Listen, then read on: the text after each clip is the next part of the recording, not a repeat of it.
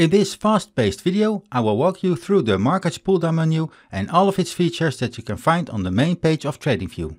This video is part of a multi-part series where I walk you through the entire TradingView platform to inform you of its features.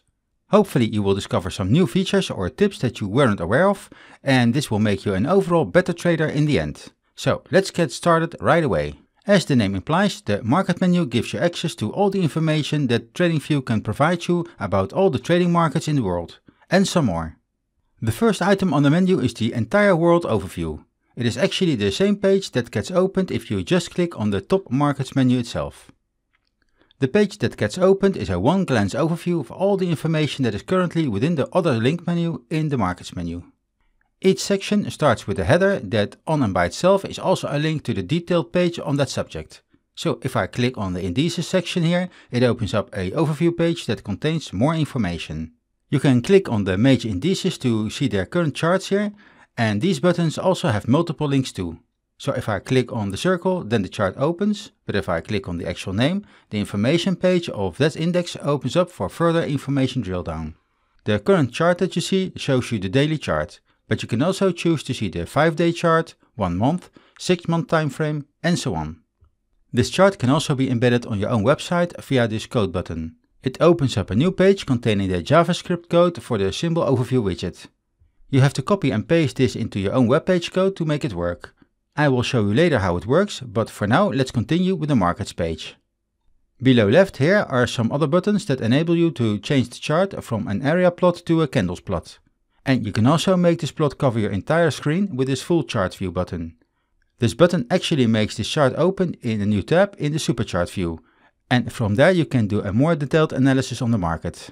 If you click on the arrow button here, you can also find a See All Indices button.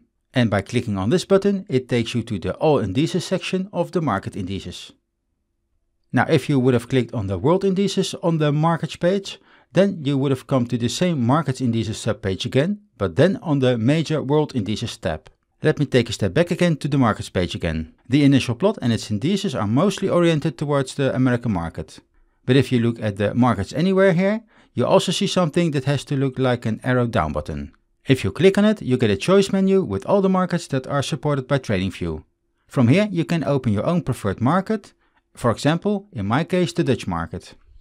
You also get to this page if you go to the Markets menu, then select countries and then the country of your choice, if it is included in the selection of major markets.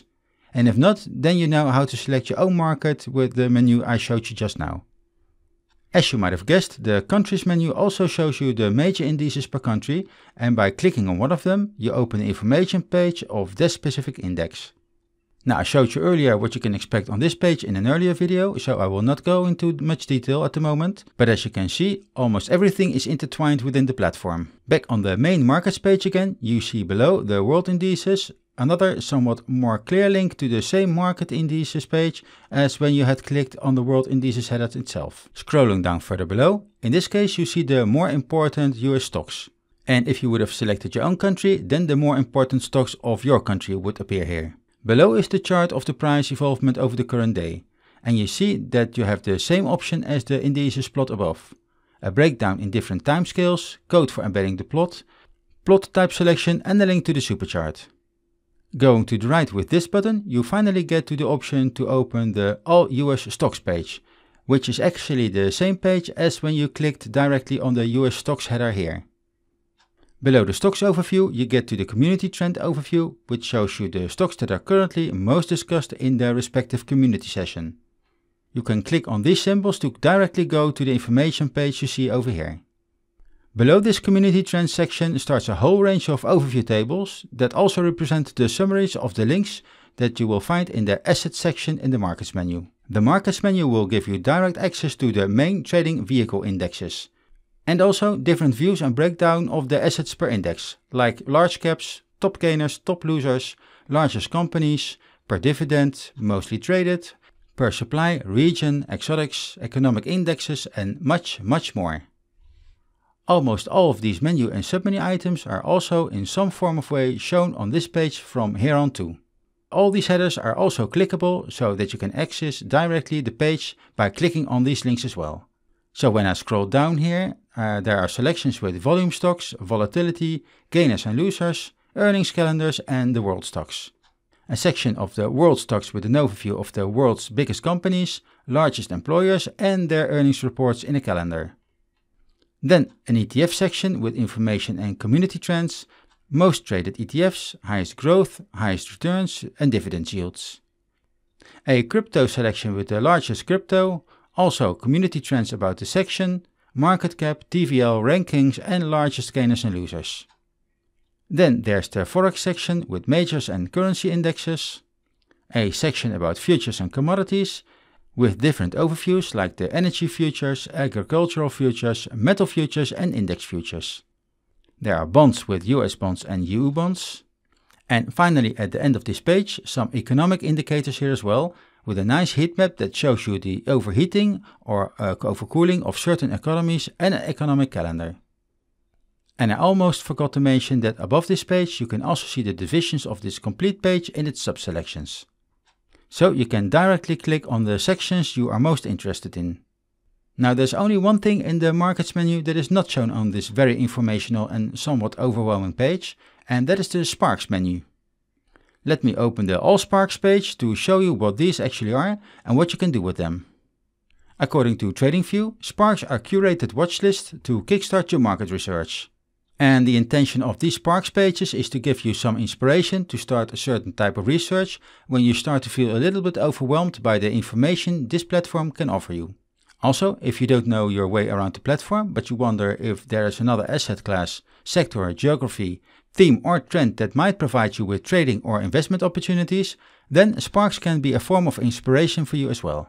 For example, if you want to YOLO into meme stocks because you have too much money and time on your hands, then there's a spark for that as well. So next to Elon Musk's interests, which not seem to be performing so well, there is a meme stocks sparks page. Opening that page provides you with the following information. First of all, there is a nice description with the intention and some background information. And the stocks that will be shown below can also be directly added to your watch list with this button. Or you can share this page with your friends to make them enthusiastic about your excellent choice of stocks too. This next chart shows you the total portfolio performance. This portfolio has at least green numbers over all the time frames shown here, and that's better than the imaginary Elon portfolio at the moment. If you are starting to get convinced to invest in this exact portfolio, then there is also a breakdown of this portfolio distribution in the sectors and industries.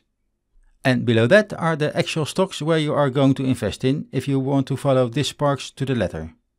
And as you can see, these are indeed the meme stocks within their own sections, like GameStop, Tesla, Roblox, Apple, Nvidia and 30 other well-known and often spoken about stocks.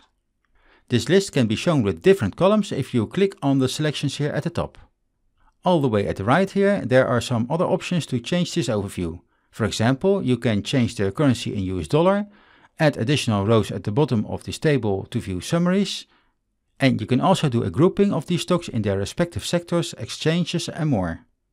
If I go back to the price overview, then there is also a function where you can select the symbols that you want to see on the chart below this table.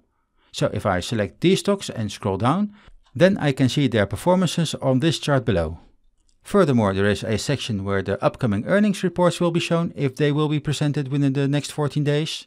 And finally, there is a news section that will keep you informed about the latest news from the selected stocks above. Now, all these Sparks have the same layout and information types, and although TradingView states that these Sparks pages are regularly updated, you see here that none of these are updated regularly. And after the presentation of these Sparks pages, I want to finish this video with this heart. Many thanks for watching this video. Please like and subscribe or leave a comment uh, with a request of what to show in the future. And if you want to start a TradingView subscription, then please also use my affiliate link since this will also give you a $15 discount on the total subscription amount. For now, this is the end and I will see you in the next video. Goodbye!